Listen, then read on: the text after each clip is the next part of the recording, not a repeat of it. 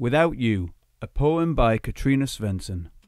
I try to understand why you're leaving me, leaving me here alone. Alone without you. We had such great times together. Together we laughed and talked, talked about everything. Now I am left alone, alone without you. I try to understand. Is it something I did? Did I say something unkind? Kind, yes, was I not kind enough? You were my rock, solid and strong, strong when I was not.